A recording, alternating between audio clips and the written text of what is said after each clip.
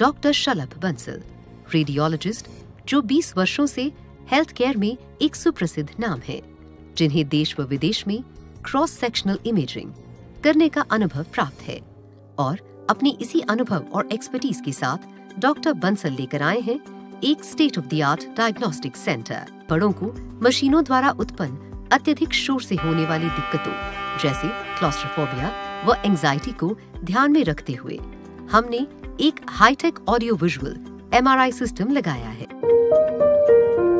Tesla imaging and diagnostic centre नमस्कार, आप देख रहे हैं फ़र्स्ट बाइट टीवी और मैं हूँ आपके साथ सिया। मेरठ के मवाना थाना क्षेत्र में बड़े पैमाने पर राजनीतिक संरक्षण में धड़ल्ले से अवैध खनन हो रहा है। ऐसे ही एक सूचना पर पुलिस गाँव सटला से अवैध खनन करते जेसीबी व डंपर को थाने ज़रूर ले आई, लेकिन मामला चूँकि हाई लेवल का था। लिहाजा किसी को गिरफ़्तार नहीं किया। सत्ता की खनक दिखाते हुए ईशान खटीक उर्फ़ ईशु थाने पहुँच गया और एएसआई को जमकर धमका दिया। इतना ही नहीं एएसआई से हाथापाई भी की गई। इस पर पुलिस ने ईशान खटीक को गिरफ़्तार कर लिया है। ईशान खटीक यूपी के राज्य जल शक्ति मंत्री दिनेश खटीक का दूर का भतीजा बताया गया है। राज्य मंत्री की खनक दिखाने के लिए वह दनदनाता हुआ थाने जा पहुँचा था। जैसे ही पुलिस ने ईशान को गिरफ़्तार किया, ये खबर जंगल में आग की तरह फैल गई। वरिष्ठ पुलिस अधीक्षक ने दरोगा से हाथापाई करने के आरोपी ईशान भट्टी को गिरफ़्तार करने की बात तो कही, लेकिन ईशान का राज्य मंत्री से कोई संबंध होने के सवाल पर चुप्पी साध ली।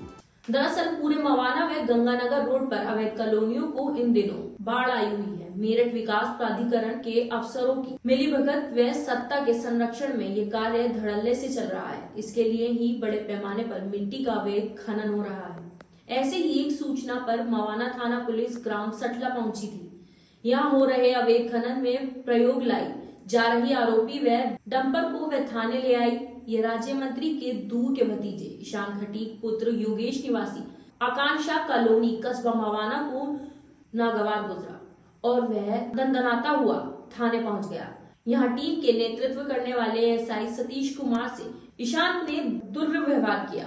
रिपोर्ट दर्ज कराई गई कि ईशांत ने न सिर्फ़ सरकारी कार्यों में बाधा डाली, बल्कि पुलिस से हाथापाई भी की। इस पर पुलिस ने उसे गिरफ़्तार कर लिया। इस बारे में मेरठ के वरिष्ठ पुलिस अधीक्षक रोहित साजवान ने यह जानकारी मीडिया को दी। क्या मवाना में अवैध खनन हो रहा है? पुलिस ने कोई कार्रवाई की है? थाना मवाना के अंतर्गत कुछ लोग जेसीबी और डंपर से अवैध खनन कर रहे थे।